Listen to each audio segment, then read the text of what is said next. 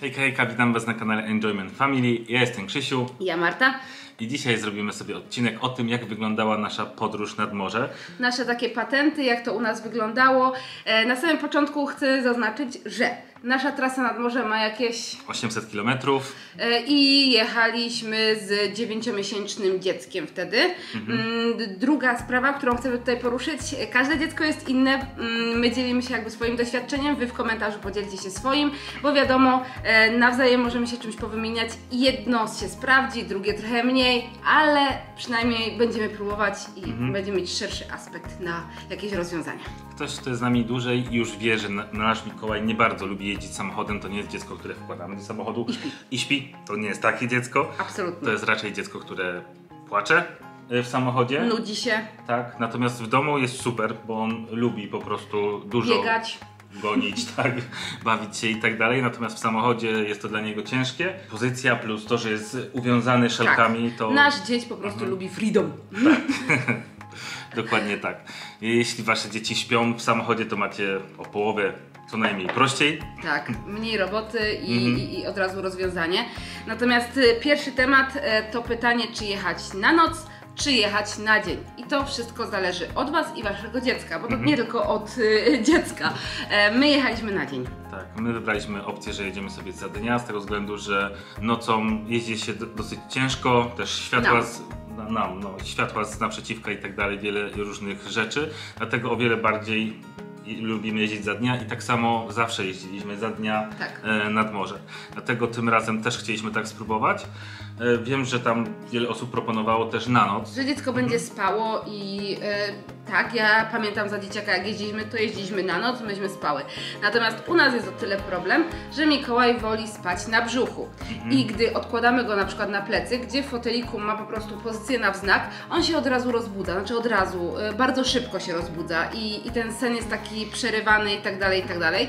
E, więc nie ma szans, że nasz Mikołaj przespałby całą noc. Ja wiem, że tu się wyjeżdża gdzieś około godziny na przykład trzeciej nad ranem, e, czy tam drugiej, e, żeby, no wiadomo, nie cała trasa była e, przez noc, tylko jak najwięcej te, tej nocy wykorzystać. Natomiast my baliśmy się drugiego aspektu, że rozwalimy mm, drzemki Mikołajowi. On by po prostu płakał przez cały czas, byłby zmęczony, rozdrażniony i tak dalej, więc mieliśmy dużego zgryza i ostatecznie mm, poszliśmy tym tropem, którym jeździliśmy zawsze, czyli trasę nad morze to 800 km, dzieliliśmy sobie na dwa kawałki i jechaliśmy jakby dwa dni, no półtorej po prostu. Na półtora dnia. Dzieliliśmy sobie mniej więcej porówno, tak żeby jedną i druga, druga część była tej samej odległości, tak żeby Mikołaja też za bardzo nie męczyć, bo wiemy, że się męczy w samochodzie.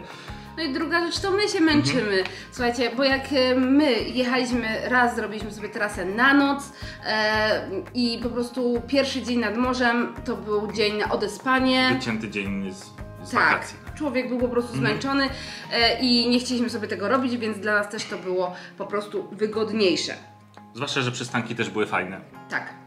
Bo, No i teraz. Bo było naprawdę fajnie, że mogliśmy tam też coś robić, no nie na tych przystankach. Tak, dokładnie. I dlatego e, teraz kwestia trasy na dzień, podzielonej e, jakby po 400 km, tak możemy powiedzieć. E, Jak to robiliśmy, bo wiadomo, że Mikołaj nie przespał tych 400 km, no bo jadąc, no, zależy jaki to jest odcinek trasy, ale pierwszy kawałek trwał 6 godzin.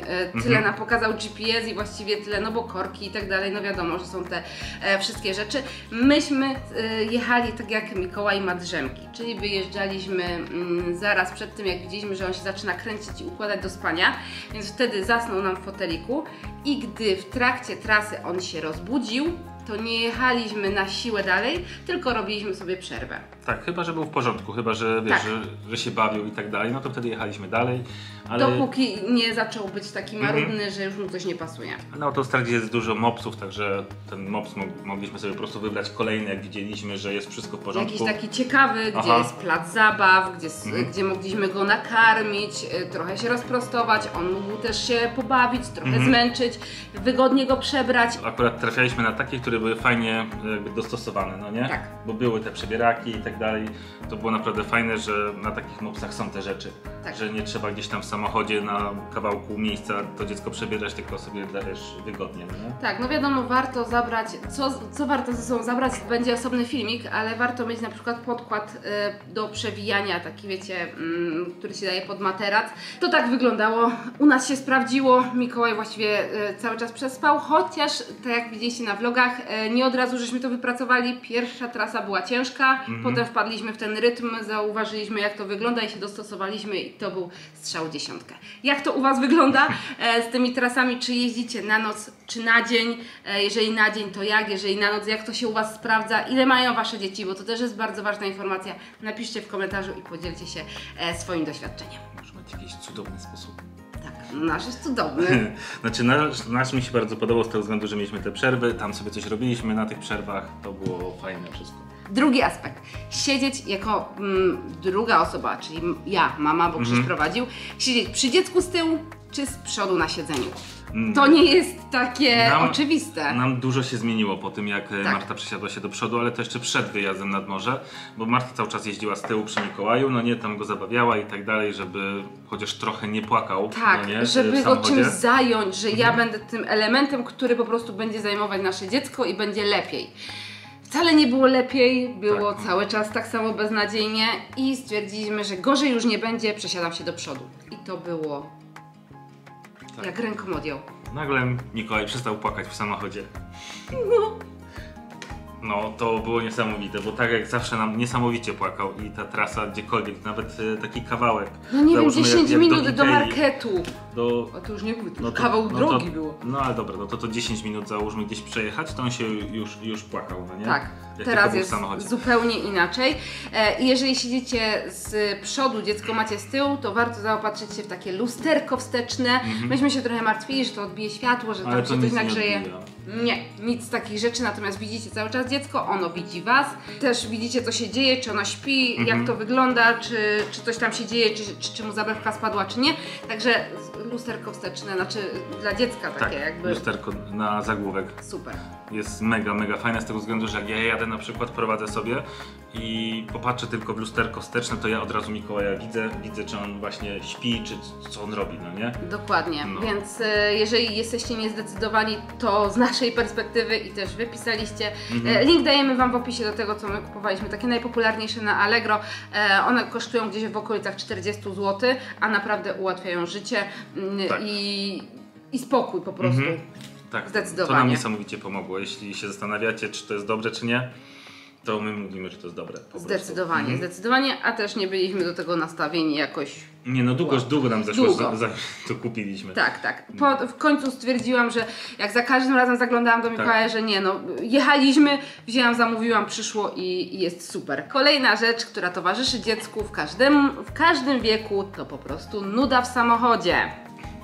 I teraz sposób na tą nudę w samochodzie, e, bo no wiem, że niektórzy włączają bajki i tak dalej, my Jak jakoś... jest może starsze dziecko, Tak, to, to ono. Mikołaj jeszcze jest w takim wieku, że się bajkami nie interesuje kompletnie. My oglądamy bajki, natomiast Mikołaj nie ogląda bajki. Nie, bardziej, bardziej rodzice są zainteresowani bajkami, ale tutaj warto wziąć e, zabawki, które są ultra ciekawe. I u nas takie zabawki bardzo ciekawe są dwie, które idealnie sprawdzają się w samochodzie, w domu niekoniecznie, natomiast w samochodzie zajmują Mikołaja na długie, nie powiem godziny, ale długie minuty. tak, on je bardzo lubi. To są jego ulubione zabawki do samochodu. Wasze dzieci na pewno też mają takie zabawki, które są ich ulubionymi, że zawsze je wybierają spośród tam wielu różnych zabawek. Także warto je przenieść do samochodu. Jeśli dziecko wam płacze, to jest to fajne. Tak, z drugiej strony potestujcie sobie, które zabawki fajnie sprawdzą się w samochodzie, bo tak jak mówię, nie zawsze te, którymi bawię się w domu, sprawdzą się w samochodzie. I u nas jest to taka brzęcząca biedronka, która była w kalendarzu adwentowym i wtedy Mikołaj w ogóle nie był nią zainteresowany, natomiast teraz przekłada klocuszki, szczer, no cuda na kiju i druga to książeczka taka sensoryczna, którą w domu w ogóle się nie zajmuje, natomiast ona tam pstryka, piszczy, szuszczy e, i, i to go naprawdę zajmuje. On tam ma gdzieś też pogryźć tą książeczkę, ma twardsze elementy, także to jest e, zdecydowanie super.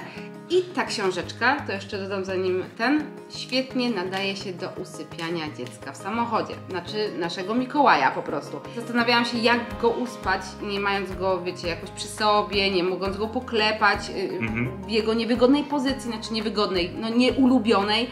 E, I szuszczenie tą książeczką obok niego dało spektakularny efekt. E, przetestowane było chyba z cztery razy, za każdym razem chyba ten w sam. 5 minut 10 i zasypiał. Tak. Także to było, to było super. I mogłam to robić z przedniego siedzenia, e, wszystko bezpiecznie i, i okej. No wiadomo, że nie, pozycja z ręką do tyłu nie jest najbezpieczniejsza, no ale umówmy się, jest dobrze. Czwarty podpunkt, który tutaj mamy, to przekąski. Mhm. I na samym początku ważne parę słów. Dzieci podczas jazdy nie powinny jeść, tak samo. Szczególnie pić. Szczególnie pić, no nie, czy tam mleka, czy czegoś, nie, nie powinniśmy im dawać, bo mogą się po prostu zakrztusić i trudno nam będzie tak szybko zareagować. Tak, dokładnie. E, żeby mu po prostu pomóc. Z tego względu, że na przykład jedziemy autostradą, nie ma zjazdu żadnego, dziecko nam się krztusi, to jest to wielki stres i możemy jeszcze spowodować przez to jakiś wypadek, więc e, takie rzeczy nie powinniśmy robić. Rzeczą, która fajnie się tutaj sprawdza, to taki smoczek, do którego wkładamy na przykład y, owoce, warzywa, jakieś tam, nie wiem, parówkę, no w zależności co lubi Wasze dziecko. Ten smoczek jest zamknięty, dziecko może sobie jeść, cyckać. Bardzo mało prawdopodobne, żeby się zakrztusiło, przynajmniej u nas się e, nic takiego nie wydarzyło, gdy No dajemy tym smoczkiem to raczej no, trudno, żeby się zakrztusił. To już musiałby być strasznie zdolny. Natomiast od razu mówimy, że Wy najlepiej znacie swoje Mhm. dziecko i jeżeli Wasze dziecko ma taką tendencję do krztuszenia się, to lepiej takie po prostu w trakcie jazdy omijać. I dawać je na, załóżmy na mopsie albo gdzieś w jakimś Na postoju. postoju. No. Dokładnie. Kolejną rzeczą jest wygoda podczas jazdy. My mamy fajny fotelik aktualnie, który może zmieniać pozycję na bardziej siedzącą bądź bardziej leżącą. Gdy dziecko zasypia, no to ma taką wygodniejszą pozycję. Gdy Mhm. się bawi, możemy go bardziej posadzić, wtedy on się też mniej denerwuje, no bo wszystko widzi. Więc e, to jest pierwszy aspekt, jeżeli Mhm. chodzi o wygodę dziecka. Jeszcze przy wygodzie to bym jeszcze dodał, że my mimo wszystko używaliśmy klimatyzacji, no nie? Nie używaliśmy jej jakoś bardzo mocno, natomiast Tak. utrzymywaliśmy taką fajną temperaturę w samochodzie, żeby ona miała załóżmy te 20 stopni, no Tak. nie? Także jak Mikołaj nawet y, spał albo coś, to nie budził się jakoś bardzo spocony, Tak. bo w tym au- auto naprawdę nagrzewa się, gdy mieliśmy taką piękną pogodę, to gdybyśmy nie włączali klimatyzacji, to wszyscy bylibyśmy przepoceni. Nikt z nas nie miał kataru ani ni- niczego. Bo- bo- bo. No to opowiedz, dlaczego? No. Bo gdy dojeżdżacie do miejsca postoju, to wyłączamy klimatyzację, aby auto y, się jakby trochę nagrzało i gdy dojeżdżamy do miejsca postoju, to wychodzimy nie z takiego zimnego samochodu na gorąc na zewnątrz, tylko już z takiego nagrzanego auta. I to się bardzo dobrze sprawdza, pamiętajcie o tym, nie wychodzimy, no wiadomo, że ja jeżdżąc po mieście to jest całkowicie inaczej. Mówię, mówimy tutaj o trasie, żeby to auto y, nie było przeskoku na przykład 10 stopni y, temperatury, Tak, no. no. bo czasami tak się zdarza, nawet i więcej, gdy na No zewnątrz tak, jest jak było bardzo 30 ciepło. stopni, a tutaj tak. masz, nie wiem, 19. Wtedy unikniecie po prostu, tak jak Krzyś mówi, katarów, przeziębienia i tak dalej. Mhm. I jeszcze, e, jeżeli chodzi o wygodę, no to ubrania. Nie ubieramy dziecka zbyt ciepło. Nie, lepiej go właśnie delikatnie ubrać, tak że jak, w zależności też wszystko od pogody, no. Jak jest na zewnątrz, no jak, nie? jak jest na zewnątrz. No. Natomiast latem Latem to ubieraliśmy go bardzo delikatnie, miał chyba krótkie spodenki, tak? I bluzeczkę taką z krótkim rękawkiem. Tak, albo takiego rampersa Mhm. z krótkimi spodenkami, żeby nigdzie go tam nic nie uwierało. No i kocyk, bo wiadomo, gdy się śpi, to, to się robi chłodniej, Tak. więc był. Więc A- lepiej go dziecko po prostu przykryć, niż go ubrać jakoś bardzo grubo. Dokładnie. Też nie dawaliśmy skarpetek ani nic, bo tak jak mówimy, myśmy jechali i było bardzo ciepło. To takie nasze patenty, powiedzieliśmy jak to u nas wyglądało. E, Możecie napisać w komentarzu, jakimi zabawkami wasze dzieci bawią się w samochodzie. Może my coś z tego e, wykorzystamy i sobie kupimy taką zabawkę również, żeby Tak. Mikołaj był grzeczniejszy. Tak, wszystkie linki dajemy Wam w opisie. E, jeżeli macie jakieś swoje patenty, które super się sprawdzają, doświadczenie, to koniecznie podzielcie się, bo takie e, wiadomości są bardzo istotne. Mamy nadzieję, że film Wam się przydał, że parę jakichś naszych trików może nie wiedzieliście, może zastosujecie i mam nadzieję, że u Was się równie dobrze sprawdzą jak u nas. E, no i co, my w tym filmie życzymy Wam po prostu szerokiej drogi, bezpiecznej drogi i cichej drogi. No, cichej, to jest przyjemne. A, jeszcze, jeszcze jedna rzecz. No? U nas często, jak Mikołaj y, spał, to szła głośno dosyć muzyka. nie szła jakoś bardzo głośno, ale szła muzyka. Nie było ciszy po prostu. E, nie, nie, y, bo to też mm, u nas Mikołaj rozbudza się od razu, gdy się zatrzyma samochód, przestaje Mhm. on jakby huczeć, no nie, więc ta muzyka jakby wydłuża nam ten czas, że No tak, coś się dzieje. Że coś się dzieje w samochodzie. I to dawało radę, bo jak wyłączaliśmy muzykę, no to w tym momencie on się szybciej budził. Tak, dzięki temu mogliśmy ze sobą normalnie rozmawiać. Mhm. Wiadomo, to nie była taka muzyka, że się przekrzy- przekrzykiwaliśmy, natomiast Nie, po mogliśmy prostu o przyjemny, przyjemny poziom dźwięku. No. Tak, dokładnie. I Tak, się żeby nie było słychać, że w aucie coś klupie. o no, to musiało być głośno.